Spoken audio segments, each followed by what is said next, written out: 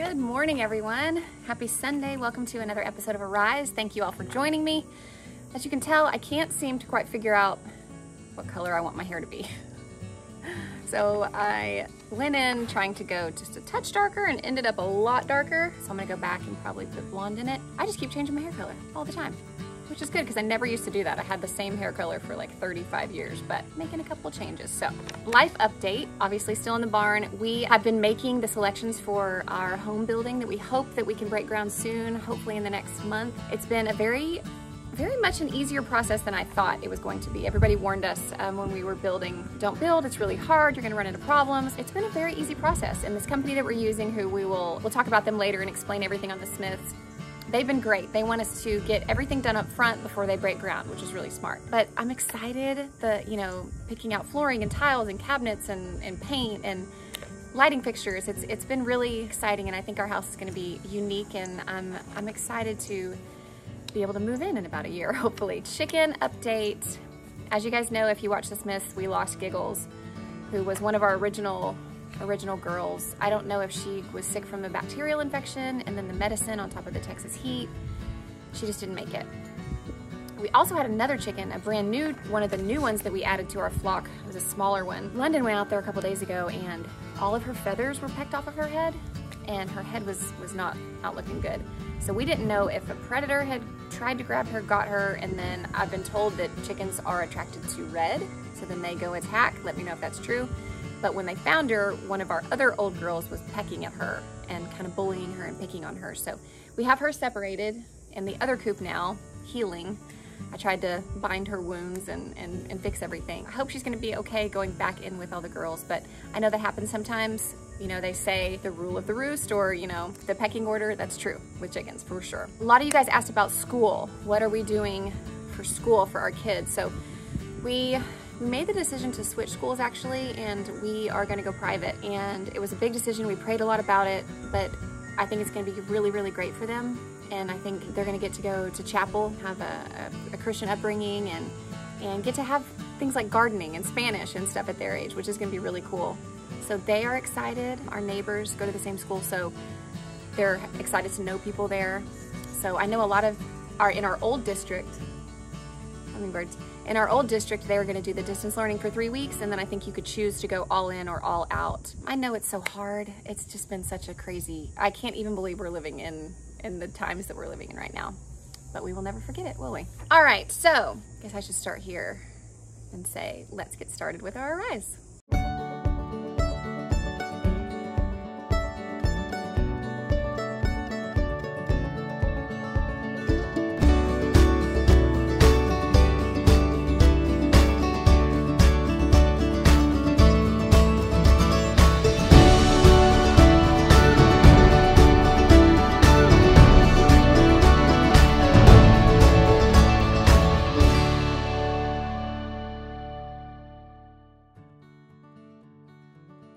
Right, so today I thought I would start with some questions. I asked you guys to ask me questions on my Instagram last night, and I'm just gonna start with those. So I actually have a lot to talk about today, and I could probably split this up into two or three arises, but we're just gonna try to shove it all in there today. So first question, do you find new meaning in Granger's songs after River's departure? So for me, I don't know that if it, I don't know that it's finding new meaning in those songs, but I'm definitely more emotional. I definitely have cried a lot more listening to this album as I have in albums of the past, even when they were emotional songs. I think, I think just knowing what we've gone through and knowing the passion that he puts in and, and knowing a lot of these songs are about our family and our, and our family dynamic, I just get very, very emotional. You know, they're very personal for us. So yes, I, I cry. cry a lot easier now um, with his music than I used to. And with any music really, I'm just, I'm a much, I've always been an emotional person, but now I'm definitely cry a lot. Have you ever had doubts that there really is a God? So, a lot of you know I, I grew up going to church. I, have talked about this a million times. I grew up going to church, but I didn't know Jesus and God in my heart. And I was lost. I got lost for a long time there in my teens and early 20s. And and I did have questions. I did wonder, you know, is there a God? Is, is this real? Is, is all, you know, all this stuff that people talk about, is this real? Um, I actually dated an atheist one time and he almost made me feel stupid and dumb for even believing in a God. And and some atheists can make you feel that way and and they're very smart. He was a very smart book smart individual, but just kind of it was during that time where I didn't know who I was. I didn't know who I was as a woman. I didn't uh, know my worth, and I I was very easily persuaded. And I let sorry, my dogs are running around, and I let other people's opinions sway me. And I think that's common for a lot of people. And um, so I went through I went through a period of of really not knowing and really really being lost and, and truly not knowing what I believed. And I think I think Christianity is such a, a, personal journey and and until you truly find that relationship with God, you may have questions and, and that's natural. That we're, we're humans where it's natural to have questions and and go through life, but and go through life questioning those things. Gypsy, go. Go. So it's something that you have to just take on. It's your own personal journey and you have to try to truly find what you believe and and dig into the word. Go to church ask a lot of questions. Ask somebody if you are if you're not deep into your faith or you have a lot of questions about about the lord learn read seek wise counsel pray and talk to talk to god and and see if you feel you know anything in your heart. And so that was that was quite a journey for me. And but i can tell you and i've said it before once you i don't think i ever truly didn't believe but i did have questions and so when you finally feel that truth, I guess, in your heart and know and you feel God's presence in your life, there's no turning back. It's not like now that I feel I have this much faith, even if something terrible happens in my life, I'm going to be like, nope, there's not a God anymore. I just, it's just something that will always, always be in my heart. I'll always shout it now because I found it, I've been found, and I know that my God loves me and He's for me and He never gave up on me. And I am so blessed to feel his presence in my life. And I hope if you have any questions or struggles that that you feel that too someday, eventually. Truly, what do you think the first 15 minutes of heaven will be like? Oh my gosh. So you see those pictures of the first 15 minutes of heaven and its families hugging and, and, and all that. And truly, I don't know. I have no idea. But I, and you hear people say, when I get to heaven, I'm going to, I'm going to talk to God about this. I'm going to ask God about this. I'm going to do this. I'm going to do that. For me, I think that when, when I get to heaven, I think it's just going to be the most beautiful, unexplainable love and peace. And I'm not going to care about all the whys or what I thought I might have wanted to ask God before. So when you get to heaven, I don't think I don't think it's going to matter. It's not going to matter. You're going to be in the most glorious place with your loved ones, with God and with Jesus that none of the stuff that you thought you might want to ask him about is going to even matter. And I think that is what the first 15 minutes of heaven are going to be like. Just pure bliss and love and grace and who knows, maybe even uh, for me, probably a lot of emotion, even though they say there's no crying in heaven. I would feel like I would be just so emotional and just falling at his feet and just, you know, worshiping, worshiping and just being so grateful. So I think that might be what the first 15 minutes of heaven is like. What do you do when you feel distant from God? So there are times when, when you feel that God is a little more distant in your life and and there are times, you know, throughout my week that I might feel like, gosh, I, I haven't spent time with God today.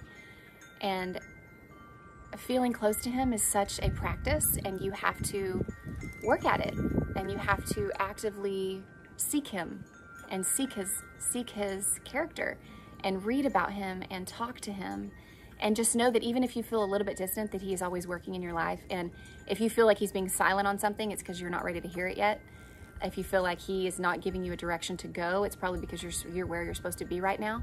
So just be patient and be still in the waiting, and that's hard a lot of times. But until you feel a peace or a sense about something, a sense of peace about something, just just stay until he gives you that next step. Priscilla Shirer in, in Discerning the Voice of God Bible study, she talked a lot about GPS and how when you're going to a place, it gives you turn by turn direction. Where if you saw all of the steps in one, you'd, you'd be so confused. And so it's like God will give you one step at a time he will be the lamp unto your feet, under your feet, one step at a time. And that's all we need. That's all our, our earthly minds can handle. If he showed us our whole life lined out, everything that was going to happen to us, we would not be able to handle that. So he's he's graceful and he's merciful and he gives us what we just what we need just at the right time. So just be still and like I said, seek him, pray to him, talk to him, and hopefully you will feel closer to God in that way. How do you help your kids through grief? I lost my husband three months ago.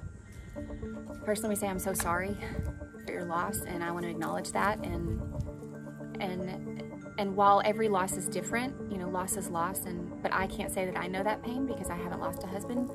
I know that loss hurts, and so I just want to acknowledge that and say that I'm so sorry. But for us, helping our children th- through grief, and and and this is going to be a different a different way than you will because this is going to be the loss of their dad, not the loss of their brother like we went through. But we put them in therapy, we put them in play therapy, and I feel like that was really really helpful.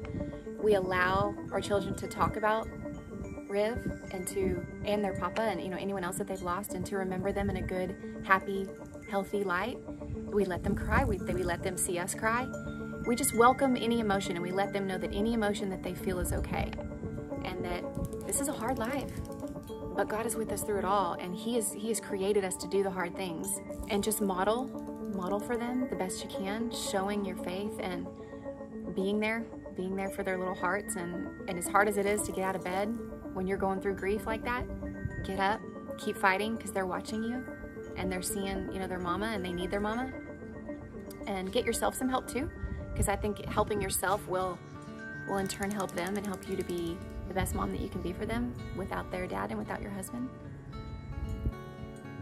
I'm so sorry for your loss and I hope I hope that um, you can feel a little bits of peace throughout your day. Let's see. What is your advice to people when they feel like they don't know what to say to the bereaved? I still struggle with this now. I, I, I've talked about it before. I, when Granger's dad passed in 2014, I do not feel like I was there the way that I should have been there because I didn't know loss. I didn't know. Yes, I loved Chris and I and I Chris is his dad. I loved Chris and I and I truly missed him, but I didn't know the love that they had for for their dad and and and my um my mother-in-law for her husband and i don't feel like i was there enough for her. And i don't feel like i was there enough for my mom when she lost her mom because i hadn't went i hadn't gone through loss yet. And even now i still don't know what to say sometimes because there truly are no words that are going to make it better. So my advice is just to just to be there and just to sit in the suck and just to acknowledge their pain and acknowledge that this hurts and i'm so sorry. And i am here when or if the time is right and and um, don't ask what you can do for them because a lot of times when they're when they're hurting, they don't know what they want. They don't know what they need. They just need people to step up and do it. You know, like I, I had friends that that came to my house every day that brought food no matter what, even if I said I, I didn't want it. That took my kids no matter what, even if I said I didn't want it. And you know, there are times there are times for for for the words to say but you don't always have to just you don't always have to fill them with that right at the beginning. Their hearts may not be ready to hear well they're in a better place or god needed an angel or or all that stuff. Their hearts might not be ready to hear that yet. So just acknowledge their their hurt and their sadness and try to help their family any way that you can whether that's making a funeral arrangement for them or mailing them a book with a, with a nice card that says when you're ready i feel like this may help you. And just just being there in the hurt and in the pain with them crying with them and talk about their loved ones because I feel like I didn't talk about Chris or, or my nanny or, or anybody who's gone. I didn't feel like I talked about them enough because I didn't want to hurt I didn't want to hurt Granger or Debbie or my mom by bringing up their, their loved one that was gone. So, but we want to talk about our loved ones. Like I want people to ask about River. I want people to tell me stories about River. So, gosh, I'm sorry I have a lump. Talk about them. They, you're not going to make them any more sad. They're already sad. They're going to be sad forever. So they want to remember the good times and remember the joy. So that's my answer for that. Let me collect myself. Let's see, I have a few more, but I'll maybe save these for next time and then we'll get into what I wanted to talk about today.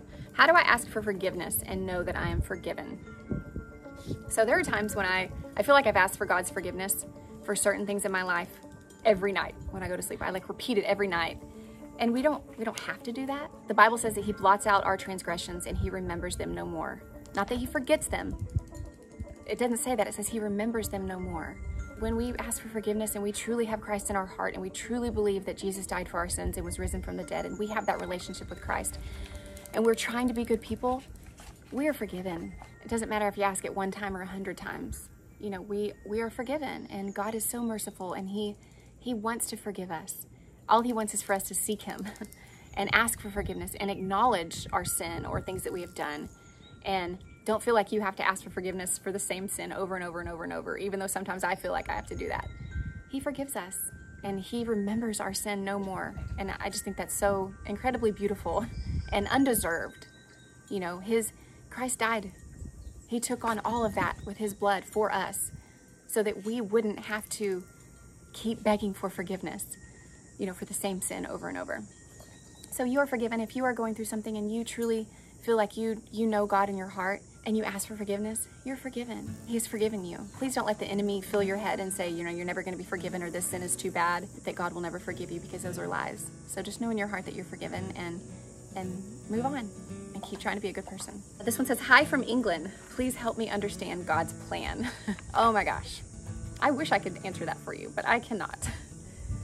I don't understand God's plan. Nobody understands God's plan. That is the mystery of life. That is the mystery of life. Nobody understands what God is doing or why He is doing it. Only the master creator understands that. And the sooner that we realize that, that we do not have the control that we think think that we do, that that's all kind of a perception. We do have free will and we have choices and things, but we don't have as much control as we think we do. And the sooner we realize your will be done, not mine, the more peace we can have in our heart to go about our lives and to understand that we're not going to understand, and that's okay. We don't have to understand. You know, God's plan is to is to save all of us and bring bring people to heaven, and how He goes about that is His choice, and He could do whatever He wants. So I'm sorry I can't answer that for you. I wish I could answer that for you. Just try to build a relationship with Him and understand His character, and know that He does have your best interest at heart, even sometimes when it hurts and that we may not see it in this lifetime. We may not see his plan for our lives come to fruition in this lifetime, but the glory that's to come is so much greater than anything in this life could ever bring. One more question, and then I'll move on. Have you ever been to a medium or believe in what mediums can do? So back when I was like younger and you know I didn't know Christ and I would go I would go to little psychics at fairs and stuff for fun, for entertainment.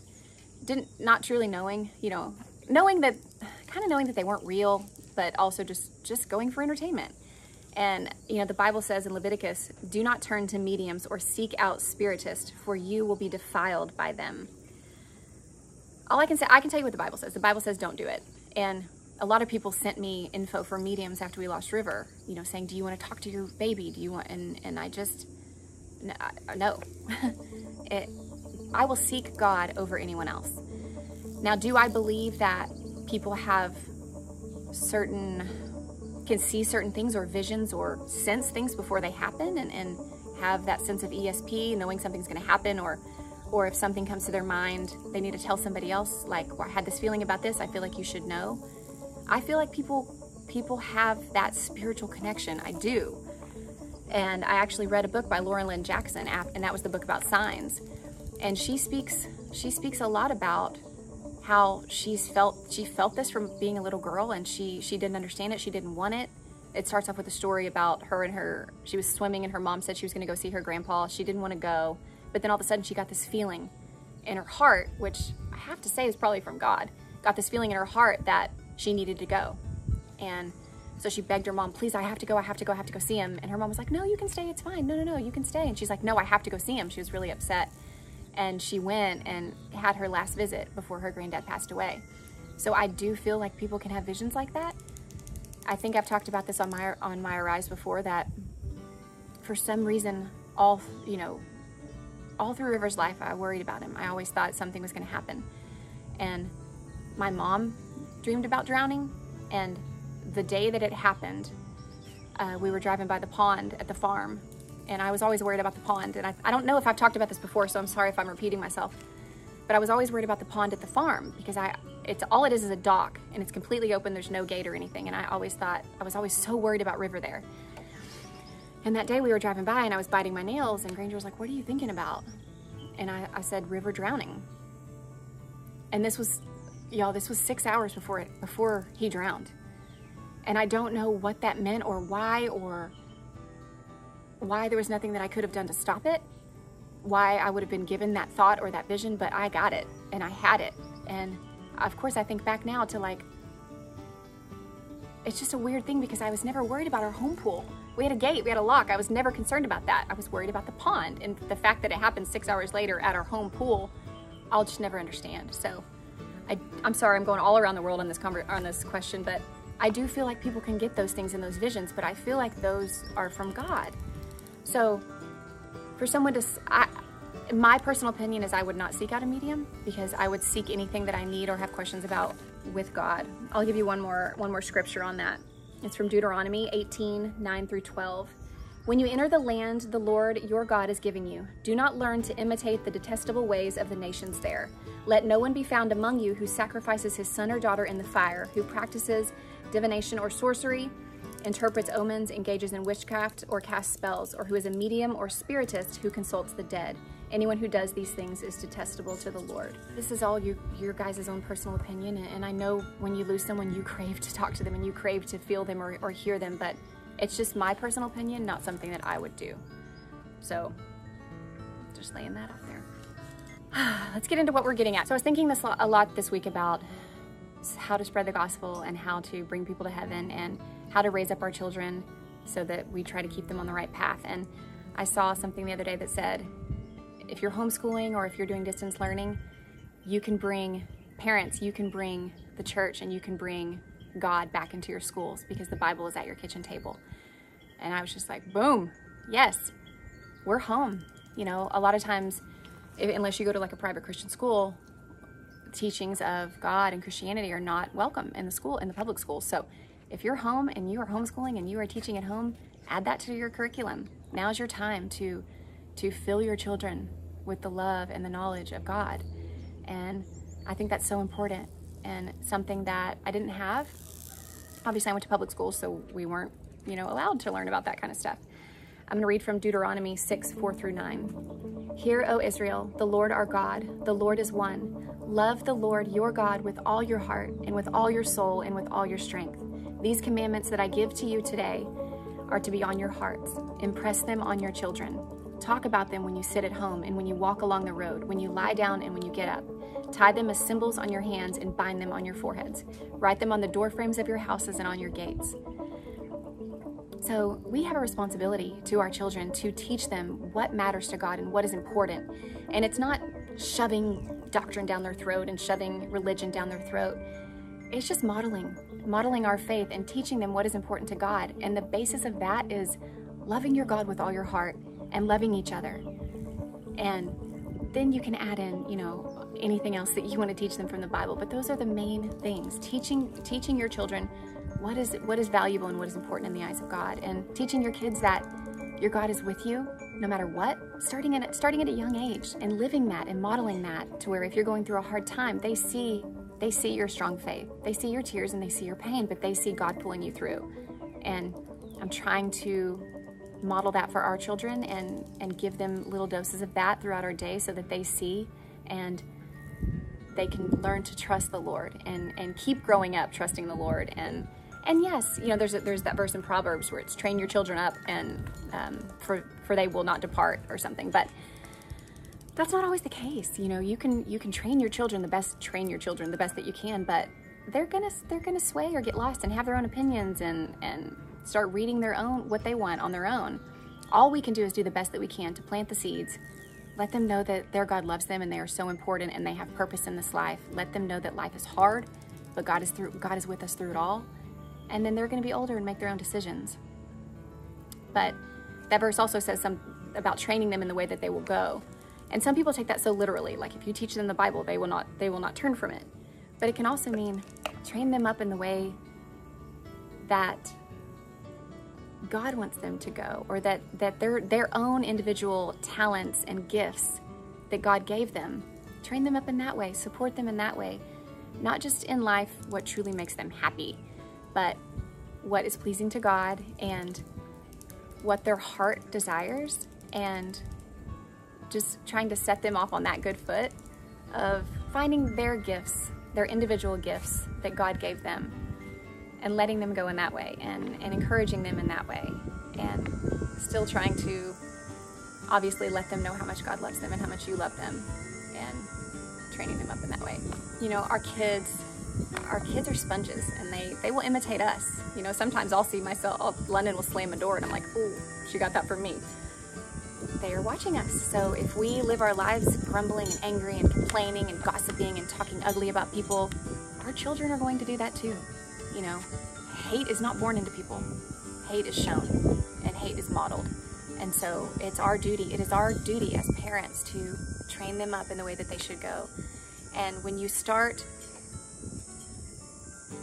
finding God and living in that peace and His love and His grace, all that negativity and all that junk goes away and you start to show the fruits of the Spirit, you know, love, peace, joy, gentleness, kindness, goodness, self-control. And then your children will will start to those will start to grow in their hearts as well. So I was just thinking about raising raising all these little kids up in this time. You know, it's a crazy, crazy time in our lives, and we we so need the Lord and we so need Jesus, and their little hearts need it so much and crave it so much. And we have an opportunity to build up kingdom people, kingdom kingdom sons and daughters, and and it's our duty as parents to do that. So if you are home and you are homeschooling, and even if you're not, add that in, guide them in that way, talk to them about it, see see how they're, how they feel about it, read them books, just try to plant those seeds in their hearts, and hopefully they will not depart. Granger and I were talking the other day about kind of the simplicity of Christianity and how how it seems you know you look at the Bible and it seems like there's so many laws and so all this stuff that you know no one person could actually uphold and we can't you know we're sinners but it's so simple.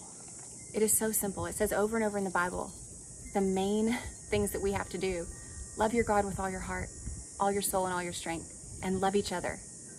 That's pretty much it.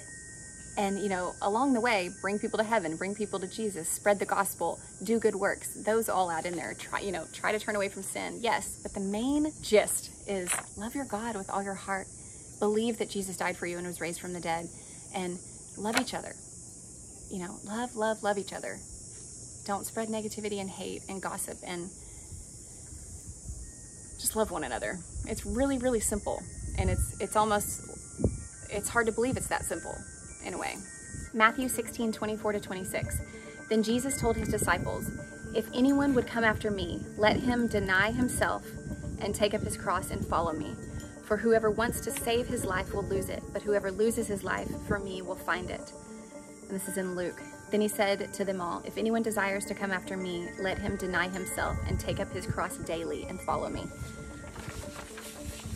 This is a daily a daily act of taking up our cross to follow Jesus. A lot of people think taking up your cross is, you know, taking up your burdens and, and everything that you have to deal with in this life. And it is in a way, but it's it's also no you know, putting on your armor of God and knowing in your mind and your heart to say no to the enemy and say no when we realize that we may be doing something sinful and, and feel it we might feel convicted about something and to practice every day to take up our cross, choose to follow the Lord, even if that means losing friends along the way, losing family along the way. Obviously, we don't want that to happen, but you need to be choosing God above all else. And sometimes that's hard to do because our worldview is so skewed and we are so focused on this world and not focused on the glory to come. But it's it's basically taking up your cross, dying to yourself, and living for God's will and not your own. And if we can do that, you have so much more peace in your heart because you realize God's got this. God's got you. He's got your family. And whatever happens in this life, if it's bad, good, and different, it is in God's plan for your life. And when you learn to trust that, you, you just receive so much peace in your heart from the Lord. And I always say all the time, it's not easy. It's not easy. It's hard, especially when you're going through something hard. But it's just daily making that choice to take up your cross. More of you, Jesus, less of me and walking that road and walking that race and, and doing the best that you can on your walk towards heaven. I think that's all I have for you guys today. Take up your cross today. Choose to follow the Lord. Choose to plant those seeds in your children's hearts. Choose to take the next step, take the next breath, and know that God has a plan for your life and know that you are so chosen and so loved. And pray for eyes to see more of heaven, more of Jesus, and less of this world. I was watching a sermon the other day, and, and Katherine Wolf, who she's amazing. If you guys haven't heard of her, look her up. She has a couple of books out, Suffer Strong and Hope Heals, and I've read both of those.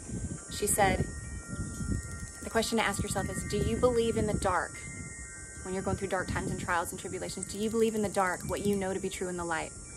It's so much easier to follow Jesus and follow God when your life is great. But do you truly still believe all those things in the dark when it's hard?